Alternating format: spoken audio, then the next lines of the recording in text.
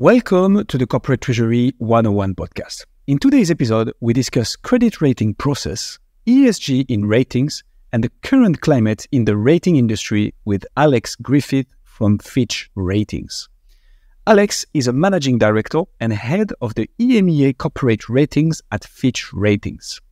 Fitch Ratings is a credit agency that rates the viability of investments relative to the likelihood of default.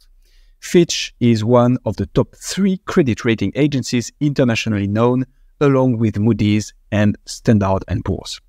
In the episode of today, expect to learn what is credit rating, what criteria do rating agencies consider when assigning a credit rating to a company or a country, how does the role of a corporate treasury department factor into this process, how do factors such as interest rates and inflation impact credit ratings, what are some of the challenges in incorporating ESG factors into credit ratings? And like always, much, much more. This is honestly one of the most interesting episodes we got to record so far. Alex is passionate about his topic and extremely fast on answering even our most intricate questions.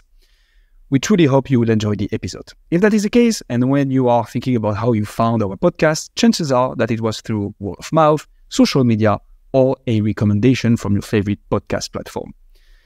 And this is our only request to you. The only way we can get more and more amazing guests like Alex and get more people to learn about Treasury is thanks to you. So if you enjoy what you hear and maybe learn a thing or two, please consider following the show, leaving a review, or sharing this episode to help others discover it too. With all that being said, please welcome Alex Griffiths.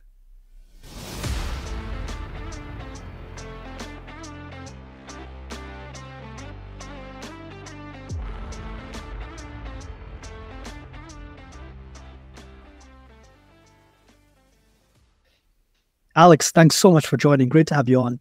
Can you get us started by telling us what a credit rating actually is? Absolutely, it's important to um, to understand the definitions because it is a little bit technical, um, and knowing what you're dealing with is the first part of understanding how credit ratings move, how they can be used, all that sort of stuff. So, um, I'll, I'll I'll read a definition here because it's important to get this right. So, credit ratings are assigned to issuers or obligations are an opinion on the ability of entity or instrument to meet financial commitments, such as interest or principal on bonds, debt preferred dividends, insurance claims, or counterparty obligations in accordance with the terms of the investment. So there are important, important parts of that. I mean, one, they're an opinion. Uh, there's no absolute right or wrong here. We're effectively trying to forecast the future. Secondly, it's about the the ability of an entity or instrument to meet financial commitments. So you know, I look at corporates. It's all about can the corporate repay its debt, essentially. Yeah, we normally focus on uh, on bonds and loans as those financial commitments, but sometimes when we're thinking about an entity, our considerations can go further to things like leases, which can sometimes, if they're not honoured, lead to a, a, a default being recognised. And then there's the final point, which is uh, in accordance with the terms of the investment. So, yeah, we're trying to to understand here is a company doing what it said it would do in the first instance? You get situations where sometimes payments can be deferred. If that's in line with the original terms of the document, uh, that's unlikely to trigger a default.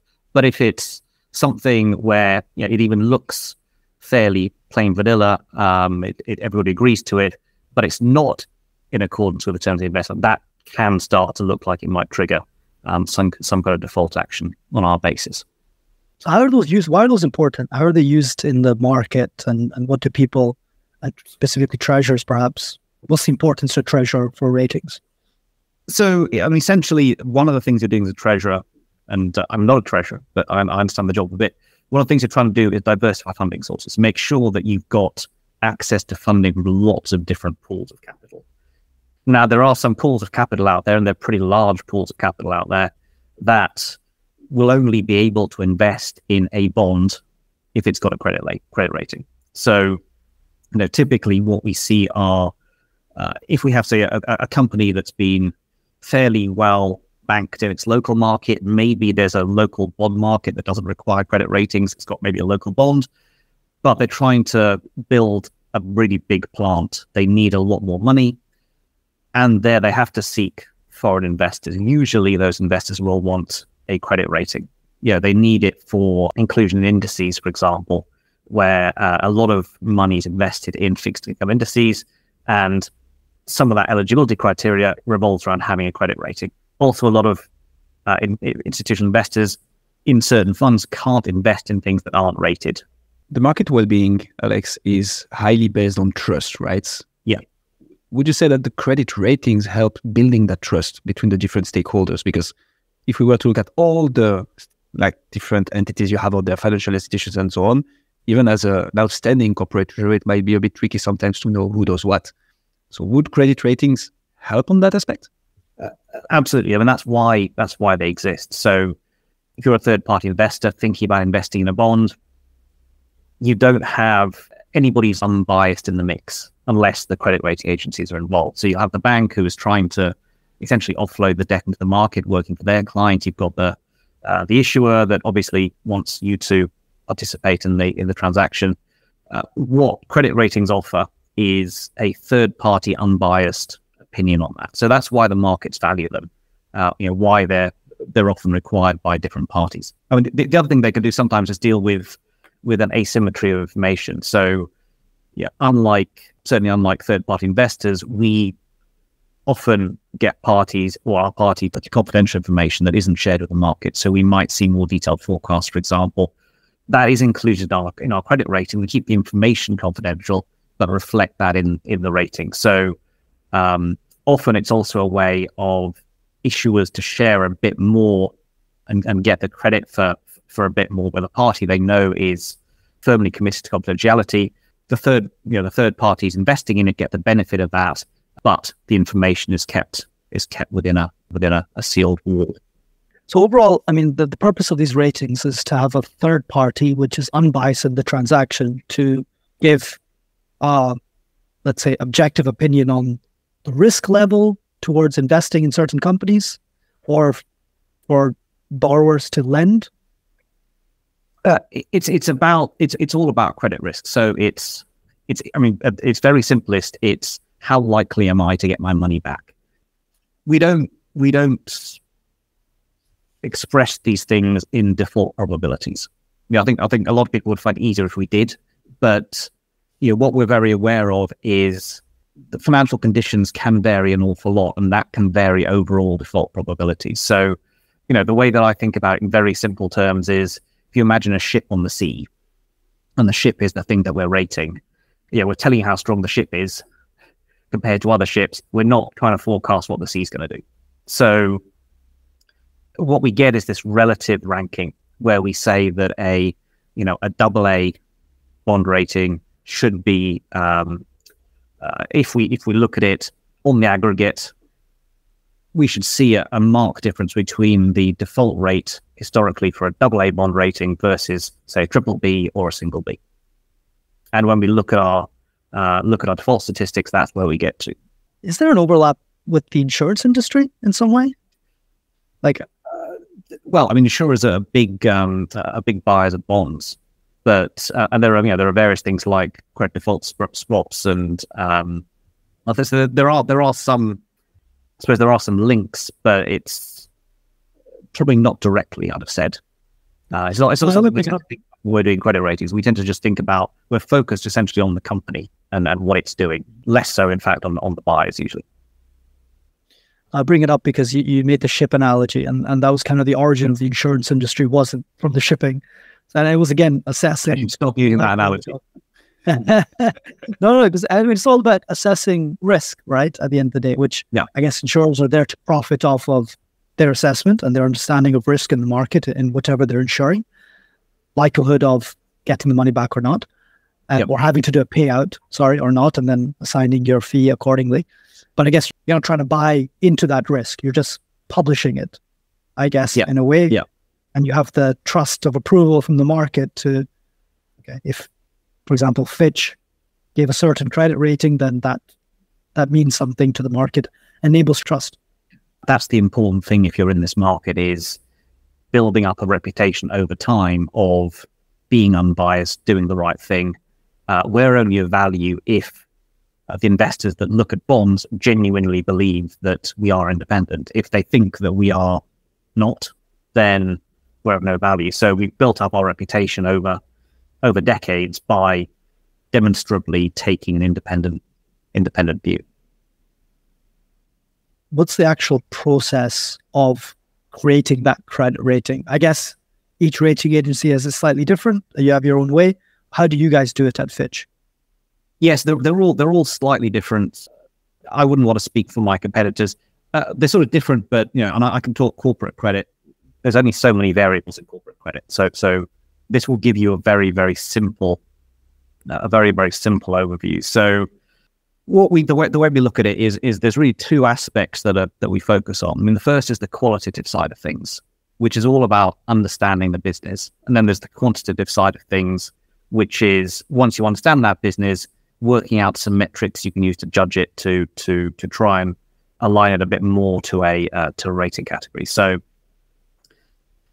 the way that we we focus at Fitch, and we you know I think we tend to do this uh, a bit more zealously than some of our um, some of our competitors potentially, is we try and really understand that business and use that to forecast results going forward. So when I say we try and understand the business, we, we do that via over 50 what we call navigators. So for each each sector you're in, we have a, uh, a sort of a visual aid or a criteria that we set out, which talks about what sort of characteristics are associated with you know a double A in this sector, a single A in this sector, a triple B in this sector, uh, and those will will have qualitative and quantitative aspects associated with them. So, you know, a simple example of a qualitative aspect is scale. Scale is, is on pretty much every navigator. And scale is important because you have not just you know potentially a classic economic economies of scale. What it typically means is you're more diverse. So if you're if you're diversified across different countries, if there's a problem in one country, the rest of them may well be doing okay. You'll usually be diversified across different business lines as well. And what that means is if one business line is not doing very well, the rest are unlikely to go wrong at the same time. But it also gives you leverage over your borrowers. So, you know, if, you're a small borrower, then it's potentially easier for the bank to turn around and say, no, you need to pay us back now. We don't really care. If you're a gigantic borrower, actually, it becomes more of a negotiation. So there's more at stake from both sides. Uh, it's more of an equal party. So scale is one of the things that runs through a lot of these navigators, but then it can get very, very detailed. So things like reserve life in oil and gas, things that if you were reading any analyst coverage on a sector, you would see and, and, and they would use to differentiate between, between businesses. But I'm not going to go through every every single of those 50 navigators, but they are there. They're all available on the website. And if you're really interested in working out how would Fitch think about your business and your uh, and your sector, have a look at those navigators. They uh, they are uh, they're quite comprehensive. So once we've done the qualitative side, we then think about trying to try to sort of come up with an overall risk from the qualitative side. And if you if you're thinking about this in very simple terms, what we're trying to do is work out how stable the revenues are, or, or how stable the, the cash flows coming in are really. So you know, you think about revenues, think about costs. That generates an amount of cash that you have to play with. You can obviously put some of that into capex, and some of that will be discretionary. You can start to think about how stable and predictable a position is this. If it's less stable, we'll be looking for you know, higher margins typically, so that when things going badly, you're not you're not in negative territory. But essentially, assess- assessing how how solid is that cash flow that you'll use to underlie uh, or, or to pay your debt. And what you then do is you say, okay, if, if that is a really stable, steady cash flow for a certain rating, you can take on more debt because uh, usually there will be less variability and there'll be no point at which, or there'll be less likelihood of there being a point at which you can't make those debt repayments. If you've got a very volatile business for a particular rating, you'll have a lower leverage allowance. So you know, you'll have maybe one times at uh, investment grade if you're very, very volatile. So, and we look at this in terms of uh, in terms of cash flows. So much, you know, much as we're trying to look at the the generation of cash on the qualitative side, when we look at uh, look at our leverage metrics, I mean, they're, they're obviously you know, classic sort of business school type leverage would be debt to equity.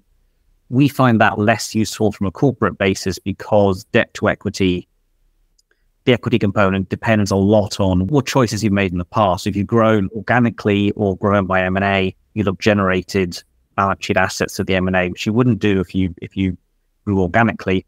And therefore, you could end up with a very skewed set of metrics for actually a very similar sort of company. So we tend to look at how much cash you're generating and play that forward to see what your ability to pay down your debt is. So you put the qualitative and the quantitative together and you come up with the overall rating. Two other points to mention. One is I mentioned understanding the business is important to us. The main reason that is, well, obviously the qualitative is, is, is a big part of this, but it also allows us to forecast. So it allows us to push forward with our thoughts on what the credit metrics might be. So what we often see are companies in a state of flux. I mean, there, there are very few circumstances we see where a company is completely dead flat with similar credit metrics. You know, this is a real world, particularly in the last four or five years. Businesses have have been up and down quite a lot. What we don't do is simply take last year's metrics, say, okay, that's that's not appropriate anymore. We'll we'll mark you up or down. We're aiming for an element of stability to reflect the fundamental of the, of the business, and we do that using our forecasts. Uh, we we I suppose I won't say perfected, but we spent a lot of time working on this during the financial crisis of 2008 9. We trust our forecasts. We spend a lot of time doing them, and we use them to make rating decisions. So yeah, we're not we're not backward looking. We are very very much forward looking. What does that mean? I mean, a, a, good example of that is if we look to the uh, look to the pandemic, we were essentially uh, you know one of those it was terrifying situation if you're in our position, if you like, because suddenly it's a bit like someone's got a deck of cards and thrown them up in the air. Um, you know, all that you thought you knew has has just changed. But what we were able to do was say, okay, this is this is judging by what we understand about this and what's happening with lockdowns, you can fairly quickly say, okay, it's the stuff that needs face to face contact that's going to be impacted. And you then think about which of those companies might be more or less impacted based on your initial judgment. And what we did was we we did a sort of triage first of all, rank things in terms of you know, looking at how much risk were they and, and also what's their headroom within the rating and we triaged and we, we brought them to committee. When we were going to committee, what we looked at was um, firstly liquidity. So this is in early 2020. You know, can we can this company get through to the end of the year? But secondly, what do we think it's going to look like at the end of 2021? So you know, looking really the best part of two years out to whether it could get through and recover to something which looks appropriate for its credit rating in terms of its its credit metric, its its its leverage, its coverage.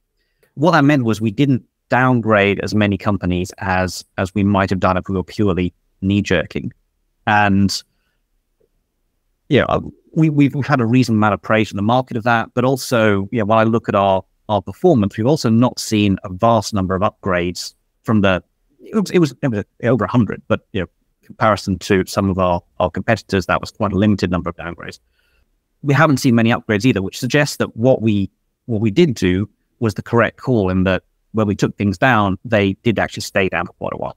And obviously, you know, the current economic circumstances mean that not that many of them have gone back up again. Lots of nuggets here, Alex. To come back to one of the one of you mentioned. So of course we're not going to get into the 50 naviga- navigators, sorry, but I'm a bit interested because you mentioned those, the visual aids. What is your benchmark then? when you look at an industry, to come back to one of your first points, like what sorts of characteristics are associated with any of the ratings, double A, triple B, whatever. What's your benchmark then? How do you determine that?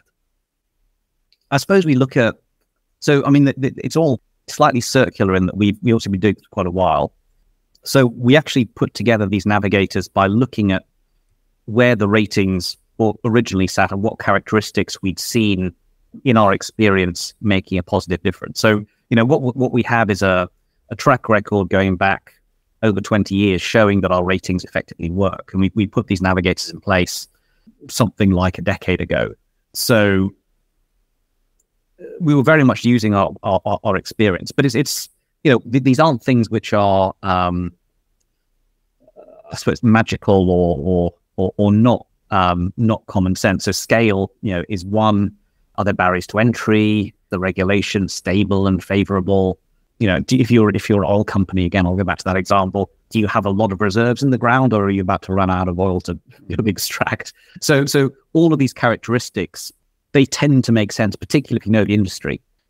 And what you then have to do is is is obviously start calibrating those. And the way that we we do that is we say, okay, we, we've got a list of ratings already, and we know that broadly how we've got here works. What do we associate with a you know with a double A company in terms of its, its reserves, or single A company in terms of the regulatory environment you've got to have to reach that? You map the characteristics onto a, a sort of an already known or already opinioned quantity and then you look at it and say, does this make sense? And obviously, we, have been working with these for ten years or so since we since we did the navigators, and it still seems to be working. So, so you know, there's evidence that it's all it's all uh, all making sense to us. Absolutely. What I what I love about what you're explaining, Alex, is that so I think most of the people got a bit a taste of what a rating is with the subprime uh, crisis. Obviously, uh, when you get into the corporate world, obviously you, you see those more and more, but you can easily think that it's mostly a financial statement analysis that is done. Yeah. But what you explain is that that's absolutely not the case. You look at the business. So, in terms of, we're going to come to it, but in terms of resources and people that are working with you, they're not only finance analysts, those are also business analysts and people who will be able to say, okay, when you mention this, is there enough oil in the ground? Is there like, what are the circumstances and the context in which this industry evolves and so on? That's super interesting. Yeah. I mean, absolutely. I, I tend to think about, um, you know, all of our all of our people are trained to read and analyze accounts, but I tend to think about that as reading. I mean, you know, it's a bit like uh, going to study and not being able to read the language you're studying. It's kind of the basics. Understanding how a set of financials works, how bond indenture works, is important, but how, understanding how the business works. And we, we get a wonderful variety of things. And that's part of the joy of doing this job is that you see all sorts of different different business models and issuers, and, and a lot of them are that are really clever. So what we get is a lot of people that have an interest in working out how the world works and how, you know, how that sausage I saw in the supermarket on a hot day when everybody's barbecuing managed to make its way there in such quantities. Uh, yeah, that's that's the sort of thing that's that's fascinating to the people that work with. That's really really cool. Another point you mentioned was M&A when you were especially touching upon this debt to equity ratio, right? My understanding was that companies that are renowned to go through a phase of merger and acquisitions usually tend to have a lower credit rating because there is a bit of uncertainty associated to it. Why is that? Is my perception correct, first of all? If so, why is that? And back to the growth aspect you mentioned, because M&A enables that, enables growth, maybe less in a steady way, but growth for sure. So how is the M&A aspect impacting the credit rating back to those? How do you actually rate companies? Yeah, so there's there's I mean there's a few things that happen when you get M and A. One is typically, uh, you know, and obviously there are there is failed M and A and there are problems with M and A sometimes, but the business profile or the the operations so the the um the operational profile will improve. So you know we were saying scale diversification is positive. If you do M and A, and it's, yeah, let's assume you're you're not crazy, right? You've, you, you've thought about it, you're doing it for a good reason. You'll be strengthening your say your, your product portfolio or diversifying into an adjacency and, and you'll be able to realize some synergies from that. So the process of doing M&A in terms of getting something else attached to your business is generally positive. You know, there's the question of how much are you paying for it. So if you're if you're paying a large amount of cash for something that maybe doesn't have that many synergies, that's a that's a judgmental. And we do occasionally see M&A that we don't think is brilliant, but for the most part, the people doing it are pretty sensible and it is positive for the operational profile of the business. If we look then at the financial profile, it gets a bit trickier. So, yeah, obviously there are a few ways to pay for M&A. One is with your own equity. And if that happens, you know, that's certainly for the credit rating, generally the most favorable because there's no additional debt there. Usually there's either a mixture of debt and equity or there is uh, pure debt. And that's where it starts to become a little bit complicated because then it is really a trade off between how much does the M&A enhance your operational profile versus how much additional debt do you take on? How, do, how much does that increase risk? So, yeah, we have companies that do you might call you know, single big ticket M&A. You get you know giant investment grade companies that will buy uh, a competitor and that will be hugely strategically important, but it tends to be incredibly expensive. So you might see if you've got a say two and a half times leverage threshold for somebody, it'll shoot up to four and might stay there for a couple of years. Now that's where the forecasting gets interesting because we then say, okay, we know that this is business enhancing, or we think this is business enhancing. Can we wait for the leverage to come down? And if we are comfortable enough that you know, over a reasonable period, call it one to two years, the additional cash flows being generated and the commitment of management is such that we can reasonably expect that to come within its tolerance again, the chances are we'll leave the rating where it is. So we, we, we will try not to move if we believe that that is achievable. But obviously, that's a that's a pretty big judgment call, and we don't always agree with with management's view on it. They tend to tend to believe in themselves, and sometimes, unfortunately, we don't. Makes sense. Super cool. That's that makes a lot of sense. And so when we look at other aspects that the company can influence the credits rating on, how does the role of a corporate treasury department factor into this whole process? I mean, tre- treasurers end up usually being the, people we speak to the most in these processes. It doesn't doesn't have to be the case, but but it seems to be just the way of things that treasurers are tasked with with dealing with capital markets, raising debt, and therefore the credit rating agencies sort of come under them. We have them generally as our, our first point of contact. They'll often pull in people like uh, the investor relations department or potentially the CFO, but for most relationships, it's the treasury team that we are most often speaking to. What does that mean in terms of in terms of the interaction? I mean, the the, the person in the treasury team is really the conduit for the rest of the organization because, yeah, as you've heard, we are we will be trying to understand uh, not just about finance and, and strategy and stuff the treasurer spends all day thinking about, but also about the company, its merits, its business model. So typically, the treasurer is not going to be able to answer all of that at once. So it's very much about the treasurer bringing in the information that they think we will we will need, or you know, we'll usually give questions. So it's a question answer those questions, but very much being that that sort of conduit to the rest of the organization. Super clear. Um, so if if I'm a treasurer, then Alex, what can I do proactively to be able to improve that credit rating or to put my company in the best position for that? I suppose that's the thing. You know, the obvious thing that the treasurer can do is have less debt. Typically, you know that that that, that tends to help. You know, the, other than other than fundamentals like what is the structure of your balance sheet, how strong is your business, there's not much that's non-real that a that a, that a treasurer can do. I mean, what what we look for in sort of treasury functions and funding is a it's the quantum of debt, but also the term structure, the sources of finance. Uh, you know, are you are you just reliant on a, a local banking relationship, or do you have lots of other options? So we'll think about liquidity, and that's obviously the key thing that a treasurer can influence. I mean, hopefully not just for the sake of the credit rating. Hopefully that's part of part of their job. But but yeah, when we look across different treasuries, then the structure of the debt is an important part of what we do, and that's very much within the purview of the treasurer.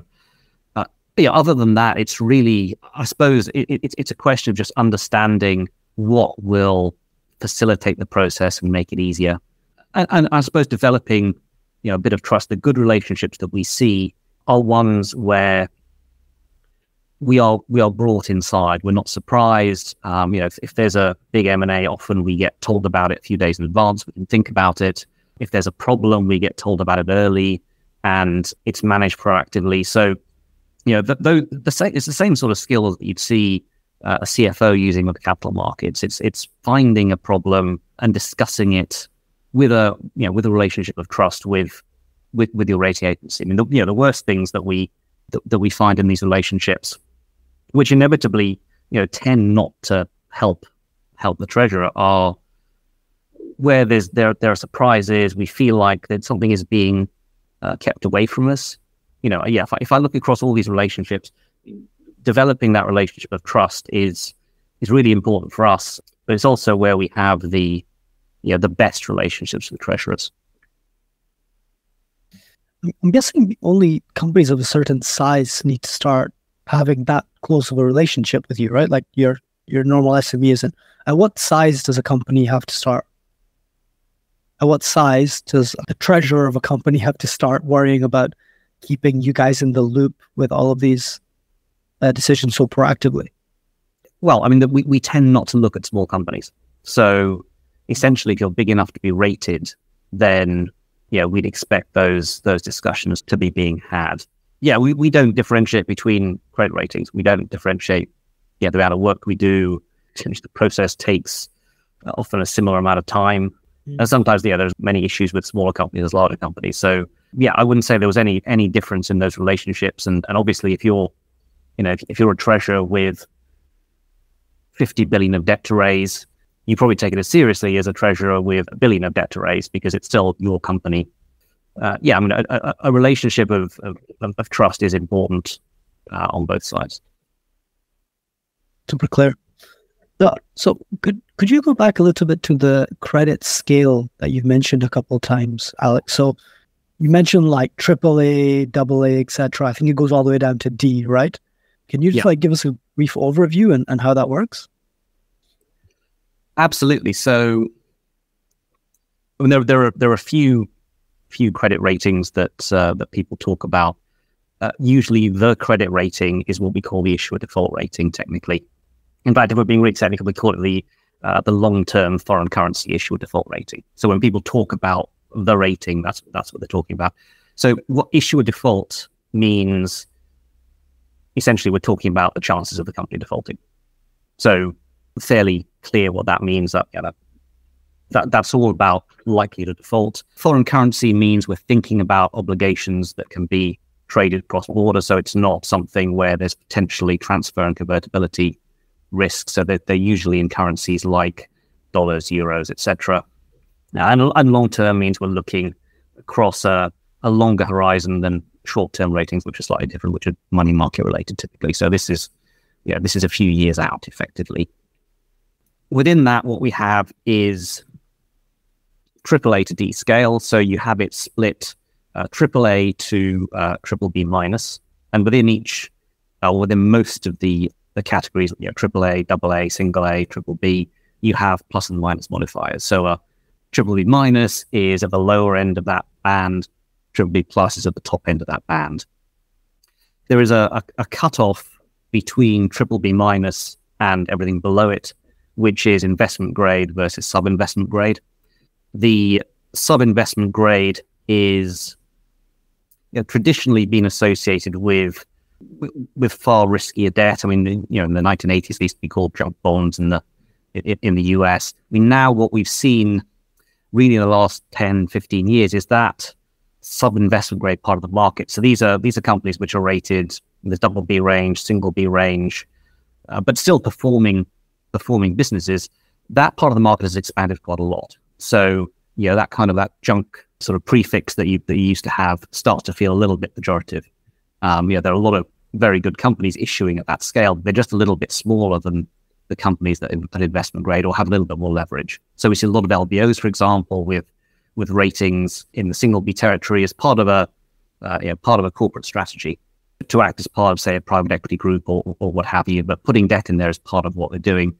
But you know that that is part of a, a thought out strategy, and not necessarily because the business is in a in, in a difficult situation. And then below that, you've got sort of the, the more distressed territory. So B minus and above are essentially performing obligations. Triple C plus, so there's the triple C range, double C, and single C, which is you know there is a very real default risk present there uh, and more so as you go down the scale. And then there's uh, restricted default and, and, and, and, default, which is obviously some form of defaults happening. Uh, the D um, the D rating itself is essentially something like a liquidation. That's interesting. You touched on like not every company is aiming to always aim for AAA. Uh, absolutely, mm-hmm. um, and you know a lot of the so we we work with companies all over the world in developed markets, emerging markets, and there are there are concerns, particularly once you get into emerging markets, around what the rating can get to as a maximum. So you know you, you might be the best the best company in a in, in a certain country, and you think you should be AAA. Well, actually, your country's rating is is single B. So, are you really that much better than the government? Well, essentially, probably not. what we do there sometimes, if there are large, large financial markets, and we see this in some of the emerging markets where you have, uh, say, a, a burgeoning pension market in a in a in a country that's rated maybe double B minus or, or B plus or something, it's not going to be much help to people investing their pension if they know that a whole bunch of stuff is B plus. Everything's B plus in the country. So it's not going to help them differentiate. So what we do is we have essentially sort of expanded scale, so we call national ratings for some of those countries. Uh, and what that's designed to do is to help people decide between the different investments that on an international scale would be uh, a B plus, but we can start to differentiate within that B plus by assigning something which is, let's say, a double A national or triple A national scale, and that that's a, a full rating scale. It just it just starts. If you were to map it to investment grade, it starts with B plus equaling triple A. So you, you get that more granularity, so it can become a bit more helpful. You like scale it according to country, almost. Exactly. Exactly. And do you then do the exact same business analysis, quantitative and qualitative, of the government and the local, of the market as a whole? So I mean, that's not my that's not my not my area. So I'm sure if you get a sovereign analyst on, they can they can give you a separate hour on sovereign ratings. Yeah, but they, they look at you know some of the similar things like governance, like financial profile, and they come up with ratings. It's, it's the same scale they use. But Fitch or independent companies like Fitch, you guys issue a sovereign rating, like a government rating, and then business ratings within that. And then you try and yeah, like, so we cover most of the, I think all of the relevant or sort of capital market available sectors. So sovereigns is a big part of that. We cover most of the world's sovereigns. Obviously, we do financial institutions as well, structured finance, public finance. So, yeah, most most of, of what you might see in a in a in a large bond market, uh, Fitch Fitch will do in one one part of the business or other. I look after the you know the I suppose the simple non-financial corporate.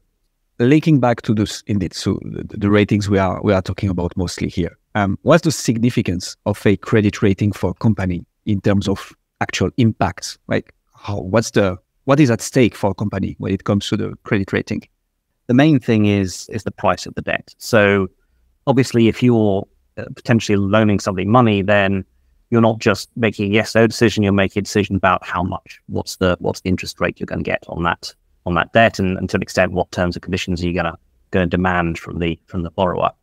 So if you're trying to work out what the what the credit risk is, then independent opinions like Fitch's are obviously very important. And one of the things that investors use when they're trying to trying to come up with that uh, with that pricing that pricing view. So credit ratings mainly have an impact on pricing, but also you know, there are other ways they're used. So you can use them to look at your supply chain, for example. Just look at counterparty risk that's not what they're designed for, but some people do use them as a proxy. Some people like to use them as, as a sort of benchmark for their own internal internal governance. So particularly we see this with groups with private ownership. You know, they don't have the discipline of the capital markets. They need some sort of third third party. So actually getting a independent view on what their creditworthiness is is very valuable to them. Very interesting. Yeah. So also for the private companies, I didn't even think of that makes lots of sense. And so to state a bit the obvious, Alex, um, because now that we have the main reason and the main impact, what are the consequences of an upgrade in credit rating? And obviously, from an opposite standpoint, about what about the downgrade? Like, what's the impact for a company? It's, it's slightly perverse in the sense that if there's an upgrade, it may well not do anything immediately. Yeah, what it means is the next bond you issue, hmm. you may be able to to negotiate better pricing a downgrade similarly might not do anything immediately because what we're talking about mainly here is fixed income investments. So the the interest rate is fixed at the start of the uh, the start of the period, and it continues until the bond needs to be repaid. It's only when you need to refinance that actually the the rating has an impact on the borrower. The lenders will potentially be marking the bond to market, so uh, it will have an impact on them and on the markets, uh, and that will obviously affect their willingness to to to lend again in the future. And I think I suppose the yeah the, the second point of this is a lot of it is not just about the, the price; it's also about refinancing. We've seen this in the current market where refinancing is no longer a given; it's more of a question mark uh, about whether companies can get a bond away if they're, if they're you know if they're higher risk, if they're not known by the market. There have been windows where it's been very very hard to to just get a deal done. Obviously, negative news on the rating side can make that a bit harder. Because I had in mind, obviously, it will cost more money to borrow money. But mm. from a lender standpoint, if you are a public company and you resell the bonds afterwards, it might be trickier for you to resell it, even though you might have had better interest rates on your uh, investment? It's well, it, it's so so. In theory, if, if you if the if the pricing hasn't changed in the interim, so if you're being fairly compensated for the risk, so so it was downgraded, then you you you bought the bond. It yeah. the market should, in theory, all work out. If you bought a bond at five percent and then it gets downgraded, then yeah, the the appropriate rate might have been six percent, and therefore you you will you will take a hit to the the fair value potentially. We would like to dive a little bit deeper into the role of ESG in credit ratings. So maybe to begin with, can you explain what ESG factors are and why they have become important in credit ratings? So ESG has been I suppose growing up over the last the last decade or so as a as a broadly discussed concept. If I if I you know look back at maybe the history of how Fitch Fitch was thinking about this when when you know we were looking I suppose mid mid last century ESG was being talked about quite a lot. And a lot of the concepts that were being discussed were things that we were already doing. So governance for example has always been a massive part of our of our criteria and our thinking you know, particularly having an impact in in emerging markets usually but but sometimes in developed markets as well so our first thought about this was, well, we're actually doing quite a lot of these these things. How can we make it clear to everybody what we're doing? So, you know, the, the first thing the market was was asking for was you've got your credit ratings. How do you how do you include ESG in that? So our first our first step, and and, and it happened in 2019, was to produce what we call uh, ESG relevance scores. So essentially, what we do is we say, okay, we've just we just concluded on the ratings, the end of the committee. We've got 14 specific ESG factors that we we think about.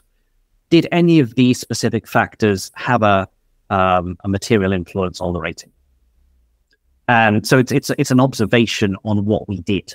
It's not new criteria telling us what we should do, but it allows us to sort of step back and think what ESG factors were in here the way that we score it, we have a one to five. So one is, you know, this factor, it, it's just completely irrelevant for this for this sector. So, um, you know, I suppose water usage in airlines is an example. Obviously, you could find a tiny tangential way, but it's not in any way a major issue.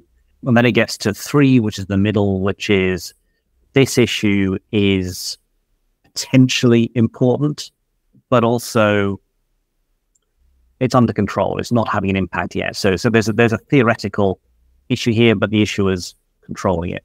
Then you get up to five, which is okay, an, an ESG factor we've identified specifically changed the rating. So you have that gradation. Four is, is there's a material impact. So essentially, it was it was part of the rating construction, but not not something which changed the rating by itself. So we, we've we've scored on that one to five one to five basis. That was essentially looking at what we were doing and highlighting what's important. Because, you know, as we discussed uh, in, in the last podcast, the, the bulk of what we do is trying to understand the business, understand all the various risks. There's no sort of checklist of, of, of what we're thinking about. It's trying to understand the thing holistically. So if there was a problem with wildfires, yeah, that's in the ratings. In fact, some of the fives that we see in, in the US, for example, at the moment, are just down to wildfire risk. So we should have picked up all those risks anyway. We then, we, you know, we, we, we came along with that for, for, for quite a long time. And if we look at the various ES and G factors where we have an impact, whether it's a four or a five, like about a quarter of ratings are impacted by some sort of ESG factor materially. The biggest of those is governance by by quite a long way. So as I said, governance affects emerging markets. It can affect developed markets as well if it's not uh, it's not up to scratch. It tends to be a negative rather than positive. So, you know, if governance is fine, that doesn't necessarily raise a rating, but it it can drag a rating down if it's it's not fine. Second, you have social factors, which change markets. And then only finally do you get the environmental factors. So about 6% of our ratings now have an elevated environmental factor, which when you're sitting there thinking about climate change and climate policies feels incredibly low. What we therefore tried to do was think more about climate because climate is a is a weird a weird thing to get your head around in terms of in, in terms of credit ratings because we tend to think about we don't have a fixed rating horizon. So in theory, our horizon is is infinite. Practically, though, we do tend to focus a lot more attention on things that are better understood, more certain, which means shorter term. So our forecasts are three to five years, for example. Things that are going to occur in that period have a lot more weight than things that are going to be, you know, 15 years out, for example, which is where climate's a problem because a lot of these changes don't tend to have an impact on the companies we're looking at in any material way in a, a, a short period of, uh, of time in that sort of three to five year period. So we wanted to think about doing two things really. One was making sure we were capturing all the risks, and the other was giving investors a signal of what's out there in the longer term. So even if something isn't included in the credit rating, let them know that it's out there so they can start making their own judgments as to whether they think in their analysis it should be. Because you know, credit is only one part of a, uh, a pricing decision. There's also market aspects which could potentially cause pricing to move before credit becomes a real issue. There, we've we've come up with our our uh, climate vulnerability signals, which started off a few years ago as a series of reports looking at sectors. We've now started doing them for uh, for companies earlier this year, so we're probably about halfway through scoring up the portfolio as we as we speak. Uh, and that's a scale of zero to 100, where the middle of that scale, so 50, will tell you you're expecting, or or if, if the company doesn't do anything to mitigate the the risk, you could have a maybe a one notch downgrade roughly of that company by the year that the, the score is set. So each of these is not just a point in time score, it's a curve. So it shows that build up. So if you're an investor and you're concerned about what's happening to your risk 25 years out, you can look at the end of the curve and see that. If you're looking, yeah, if you're concerned only about five years out, you can see that too. The signal will tell you what the potential risk to, to the rating is at that at that point along the curve. So it's mainly focusing on the actual risk. Is there any notion of saying, especially with how the, the world is evolving lately, around saying more, okay, this company really doesn't do any effort on whatever it is, E, S, or G. Therefore, they should be a bit penalized when you look at the cost of debt, basically? Or is it no, is there not such a such a notion here? This was this was a big um, and still is a big point of debate in the market. You know, what should credit raters, others do, and what should they include in their uh, in their methodologies?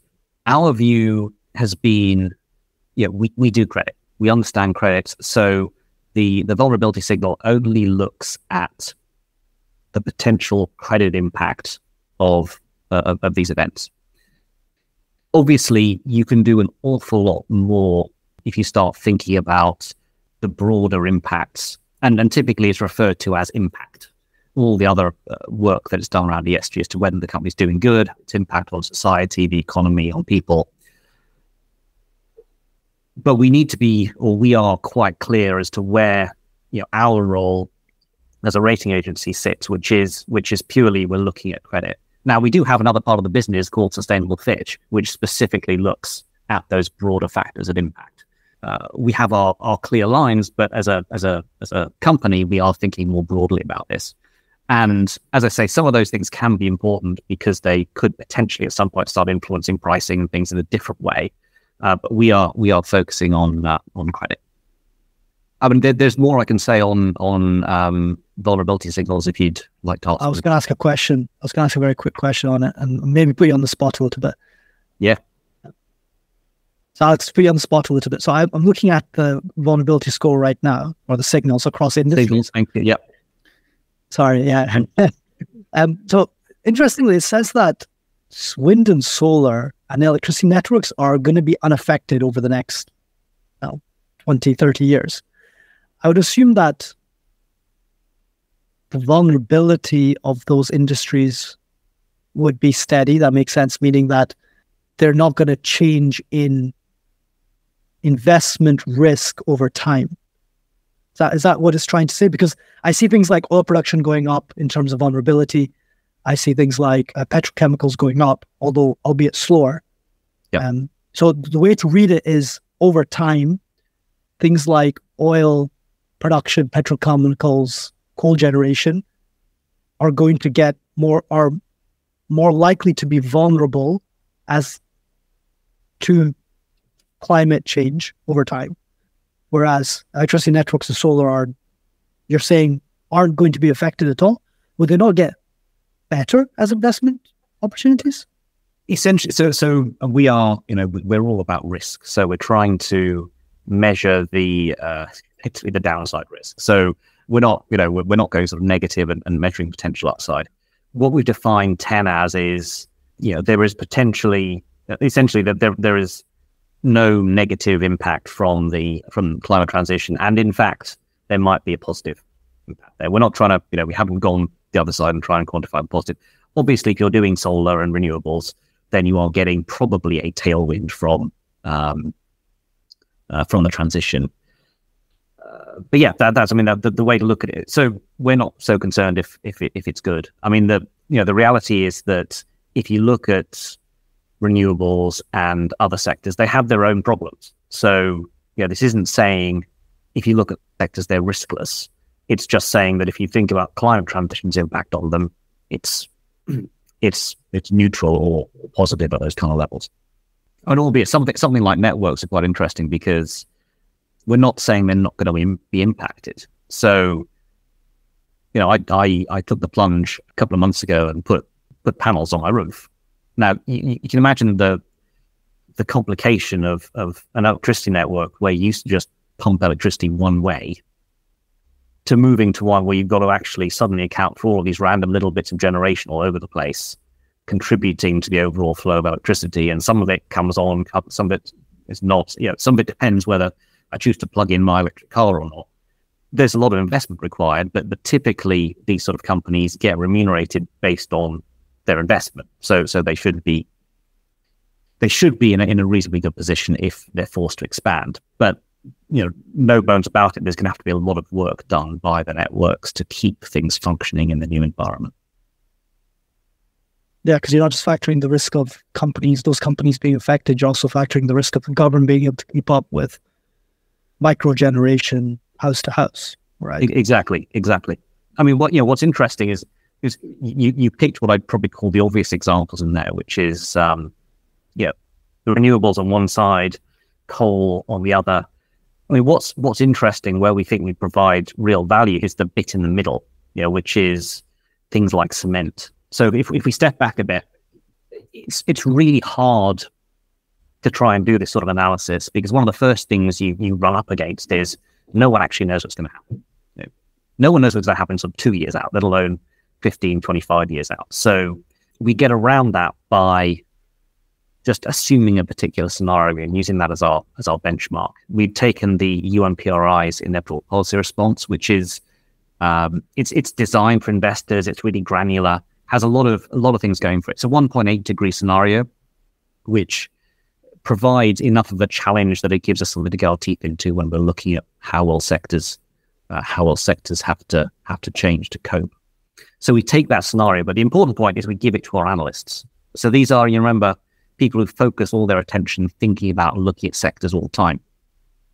So we give them that analysis and or that scenario and say, okay, what's the risk to your sector under this scenario? And that's a question that they can essentially answer because, yeah, we usually give them a macro scenario and say, okay, if this is going to happen, what what happens to your sector?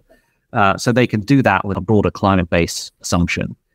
And it generates the obvious stuff, as we said, the you know renewables do quite well, um, coal-fired power stations don't do so well, but somewhere in the middle you've got the things like cement, and cement's really interesting because cement generates about eight or nine percent of the world's CO two emissions. Right, hugely, hugely greenhouse gas generating. But if you think about a scenario where you have potentially, you know, more extreme weather, uh, you need to build out electricity grids, as we were just talking about. You need to uh, invest in loads and loads of different infrastructure. Then you're going to need an awful lot of cement to do that. So, actually, the price elasticity of demand for cement is very, very inelastic, which means that if they've got to pay for their carbon, if they've got to invest in experimental new processes, they'll be able to pass a lot of those costs on to the end customer. So cement ends up actually somewhere in the middle. So they're going to have to do an awful lot of work, but there's no fundamental threat to the cement industry that we can see. Yeah, you've also got some other interesting industries there, like uh, gaming and gambling and stuff like this, which I couldn't access because I need to make an account, which maybe I'll do later. But people can go on the website. We'll put the link in below. Bringing it back to treasury and traders, Alex. If I'm a treasurer sitting in one of these companies that perhaps has a high vulnerability signal, trying to get the wording right, not score signal. Uh, how, how would I react differently as a treasurer to try and uh, improve or to try and work towards putting my company in the best position? So how should a treasurer take it? Okay, if I'm a treasurer sitting in a, let's say, a petrochemical company versus sitting in a wind turbine manufacturing company, how, how do I how do I react to these differently? A lot depends on how integrated the treasury function is in in the rest of the architecture around ESG. So we see, I mean, when I speak to fixed income investors, we see loads of different organizations um, and ways of thinking about ESG within them. Within companies, I'm sure it's it's even more diverse how they consider it. But if you've got a head of um, sustainability, then you know I, I, would expect a treasurer to be fully on board with what was what was being discussed, what the plan is. You know, be able to to to think about uh, that in the broader context of financing, explain it, because I think everybody nowadays that's that's being talked to, or that's that's that's that's involved with external parties, they'll be being asked about ESG. It would seem obvious that everybody should be able to um, to discuss it, particularly if you've got those external facing roles. You know, I think I think the point at which anybody in an organization can think that ESG is sort of somebody else's problem is uh, is, is long past, and obviously you know, the sort of questions we will be asking are, okay, your your transition to green steel, and you say you're going to do that by 2030. How much is it going to cost? So make sure that information is surfaced uh, in a way that, that that external parties can potentially understand. So you know, it just comes down to that point that yeah, the, the better treasurers we work with and be- the better teams we work with are transparent. It it seems to be a formula that is uh, more effective in communicating than, than but not. This typically when we talk ESG in total, and we've talked a couple times previously on the podcast, the G, and you mentioned it before earlier, earlier as well. The G is really where companies internally can have the biggest influence on. Is their internal governance um, as well? A little bit on sustainability, like making some changes internally that will help them be more sustainability conscious as, as in terms of their impact. So if you just talk very quickly as well about the G side of things, how can treasurers do that will typically give them a better rating in terms of their governance. Just for the people to understand how treasurers play a role there.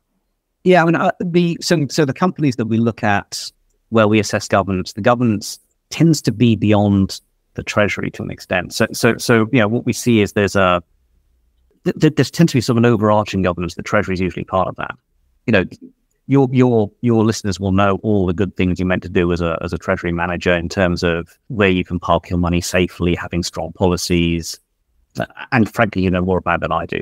So, a company that generally has good governance will generally have that that sort of discipline in place and that sort of professionalism in place. We rarely sort of downgrade or take a view based purely on what a treasury function is doing because it tends to be more perspe- more pervasive. If if the rest of the governance is is weaker, then usually that's reflected in a in a less professional treasury. They tend to come together. So, you know, specifically, I suppose the treasurer's role in this is is essentially making sure that uh, they can a discuss their policies, have clear policies in place, they follow them, uh, but also can talk more generally about governance the organization. Again, again, it's that it's that role of a of a, of a funnel, making sure that the information flows to the rating agency. Relationships again. That seems to yeah. be the key factor here. For you as a rating agency, Alex, how difficult? What are the challenges of incorporating ESG into your rating overall? So we touched on like the long term, typical long term impact of it versus, you know, that's not very controllable and why you want probably to be looking three to five years out, where climate change is probably longer term than that. What other difficulties do you have incorporating ESG into your credit rating scores? It really is that it's that time horizon question and the the the way that we've we've thought about that, and we've thought an awful lot about it, is to use the the vulnerability signal as a a means of telling us, okay, in 15 years there might be a problem. Do we have to, you know, what's the nature of that problem? Do we see that raising its head already? So, you know, for us, it's about trying to understand well in advance what some of these long term trends are and reflect them at the, the earliest possible moment, albeit that may well be not yet. So in a lot of industries like oil, we're not seeing an impact yet on our credit ratings uh, from climate change, uh, albeit it's something that we're actually talking about quite a lot in our in our committees now. So um, yeah, it's it's it's allowing us to make a conscious decision. I think I think the, the biggest problem is simply ignorance. It's it's if you miss something because you know we've got the Paris ratchet coming up, uh, which is a a process that was put in place during the original Paris Agreement, where they uh, the governments agreed that they would start assessing about now whether they had the right policies in place to meet the Paris Paris goals. If they don't, then in 2025, which is the date of the ratchet, they will ratchet up their policies to make sure they meet it. Obviously, politics is politics, and you know don't want to get into into what's currently going on with with, with COP processes, etc. But that's the that's the broad timetable that, that's still been still sort of in force and has, has been laid out. So if that all works as planned, you would expect to see a pretty rapid acceleration of policies in the second half of this decade. Um, so the sort of traditional, you know, wait and see what those policies might be approach isn't really going to cut it because they're going to be coming very, very quickly, and you need to have thought about it in advance. So yeah, avoiding ignorance, really thinking about it, and making sure you've got the visibility on when those risks are starting to pull forward from the future into something we need to think about today. Those are the real challenges. Alex, thank you so much for the insights shared so far. Um, we'd like to get a little bit deeper into the current market climates on credit rating. So, how do factors such as interest rates and inflation impact credit ratings to really look at something recent and topical? And this is this has been the question not just of this year, but of last year as well. So I've been at this 18 years, and essentially throughout that time, it's been a story of rates falling. You know, inflation hasn't even been on the radar.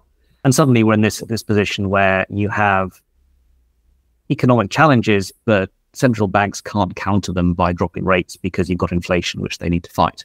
So if, if we think about it in terms of credit ratings, what are what what are the issues? So there's, I suppose, the market issues, and we'll deal with those quickly because what this has done is is is throw markets into, a bit of a tailspin. You know, the market is trying to work out in a rising rate environment how they price things. Uh, you know, uh, if you're if you're thinking about a fixed income security, you don't want to say, "I'll I'll I'll do this at five percent." If three months later the market's moved to six or seven percent. So so calling the top of the rate cycle is one of the big things the market's focused on. Uh, whether we're there or not, uh, that's that's not something that I'm uh, qualified to uh, really opine on. But the market calling the top of that is very important to to access. So if you know what what what it means is if you're a strong borrower they like, they'll charge you more. They'll charge you a you know even bigger premium. If you're a borrower they don't know and don't like, they might not lend to you at all. So that's having a real impact lower down the credit rating spectrum where companies typically have an awful lot more debt, uh, but also they tend to borrow floating rate rather than fixed rate. So most of what we look at, uh, high yield bonds or investment grade bonds, is fixed rate. So actually, changes in interest rates don't immediately have that big an impact. But if you're sitting on six or seven times leverage and you're floating rate, when base rates change, that does have a real impact immediately, and and and get uh, can get quite uh, quite tricky. On the operational side, I mean, it's, it's been a real uh, a real roller coaster. So, you know, we mentioned uh, mentioned COVID in the last episode and our, our, views on that. Uh, I mean, essentially, if, if I look at our ratings, we've never recovered from the, the COVID downgrades. So we'd have expected uh, in a normal environment to see further upgrades. E- essentially, we haven't. But what we have seen is, is differentiation. So the big companies with less exposure to the consumer, with market power, so they can push through input prices to their sales, those companies are doing well. So, you know, they're managing to generate cash, they're paying down debt, they know that they need to be fairly cautious in terms of their balance sheet. So actually they're they're improving their credit profiles and moving up the rating scale. At the other side, though, we've got those consumer facing companies where, you know, we all know consumers are now having to be very, very careful with their money, choosing whether they want to pay their electricity bill or buy that fashionable jacket. That is making that ability to pass on costs, which are rising for pretty much everybody, more questionable for people that are facing the consumer. So that's pretty, um, yeah, pretty tricky.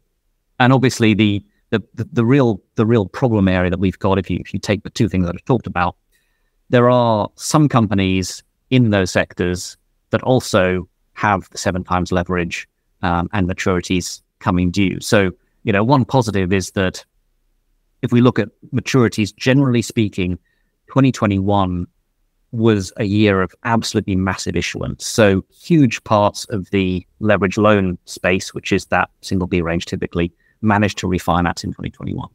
So the maturity profile is very much back ended. There were a small number of companies that didn't manage to refinance. And those are typically the ones that were still really being hit by COVID, which are typically those retail, those consumer focused companies.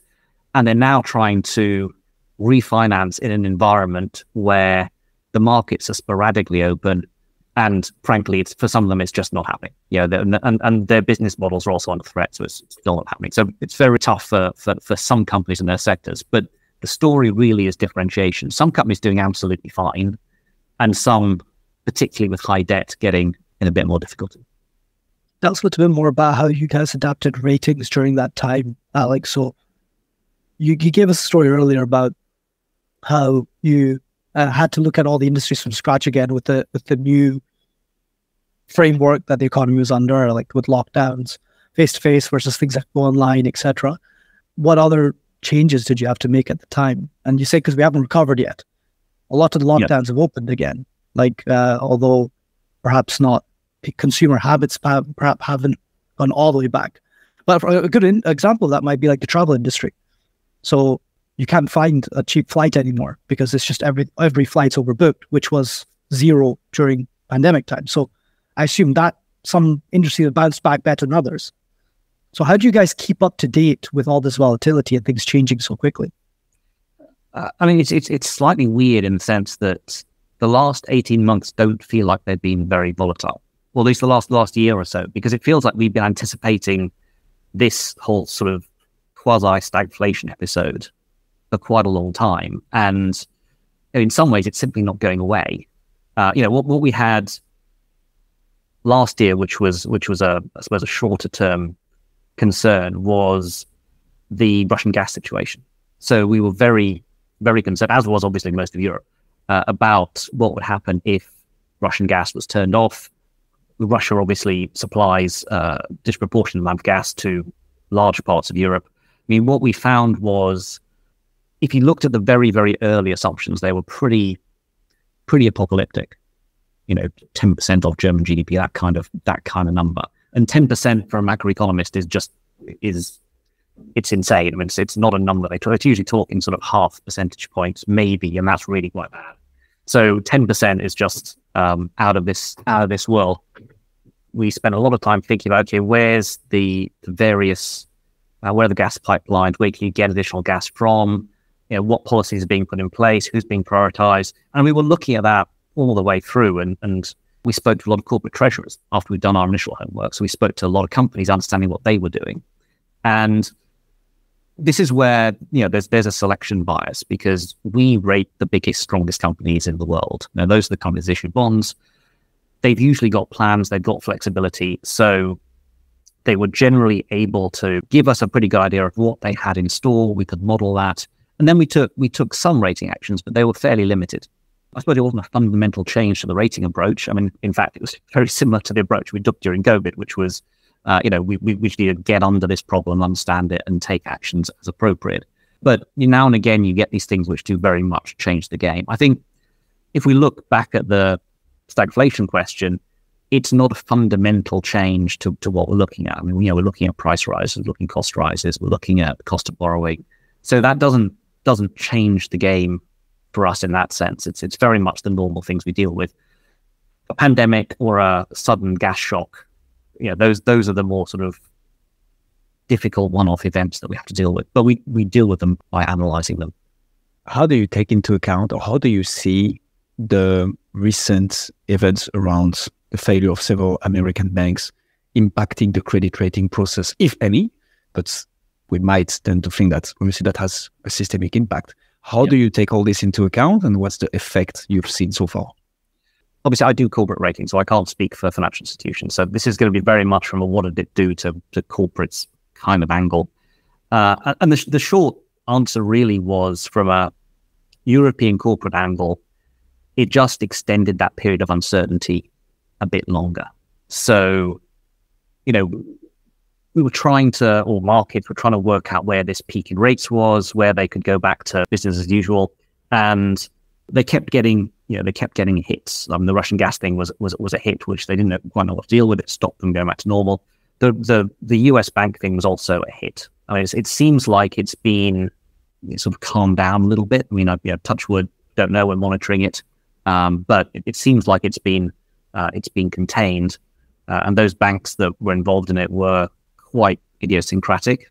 But as I say, we, we are looking at it. If you look at the the spreads between financial and non-financial borrowings, there, there is still a there is still a little bit of a, a, difference. It's not massive, but it's still there. But I think essentially the corporate market has got over that and is now just sort of moving on and and, and moving ahead a, a, bit more as normal. Still trying to work out when those rates are going to peak. We're not quite there yet, I don't think, with any any kind of certainty. But uh, I think that was has been digested quite nicely. In terms of individual corporate analysis, in the banks that we looked at in the US were fairly small. The biggest concern was that it gave rise to some sort of general reduction in, in willingness to lend, which is again why having you know, the bigger companies as part of our portfolio is really helpful because they tend to be the safety, right? You talk about flight to safety when there's a problem actually the things we rate tend to be where people fly to when there's a problem. So, so the risk that they would not be able to borrow is probably lower than, than potentially for some smaller companies. So there's more of a risk to the broader, broader economy, SMEs, than there is to you know the the giants that we usually look at. It's less of an immediate threat than you might think. I think that makes sense in the context of the niche banks like Silicon Valley Bank in the US and some of the other small ones there. But something like Credit Suisse failing in Europe seems to have a different tone to it, no? In terms of like risk to corporates. If, if a bank like Credit Suisse can fail, like we, when we were speaking to treasurers around the time and even now, yeah, um, everyone's in a panic. They don't know where to park their money. It's a very good point. I suppose the you know Credit Suisse was documented as having quite a lot of issues quite a long time. So yes, there's a there's a, a potential disruption there. And I'm sure you know there was there was a there was a couple of days when it was a real problem, uh, but the regulators have arranged a uh, arranged to get out. Uh, you know, there were there were certain things in that that that again, I'm not not uh, a bank analyst and not the person to speak this. There were certain complexities in that which you know, which which you can talk about around AT1s and that kind of thing. But in terms of did it have any impact on corporate ratings that that I'm aware of, I don't think it did. Interesting. Alex, Thank you so much for being on the show. Um, just to wrap up for, for, for the episodes, is there anything else you'd like to add on the topics that we've discussed today that we didn't cover? Uh, nothing, nothing much to add other than you can find out a lot more on all of this stuff on our websites. FitchRatings.com is uh, is fairly obvious. If you Google Fitch and climate, you can talk about climate vulnerability signals. And if you're interested, do just uh, you know get in touch with us. There are plenty of contacts on the website. Uh, people can give you chapter on verse and uh, on how it how a rating process works and how you get involved. Super cool. And we'll put all the links to Alex's LinkedIn, to the climate vulnerability uh, signals, Signal. and and the yeah, and the Fitch website in the show notes below as well. Alex, it was a pleasure to have you on. Thank you so much. Thank you very much.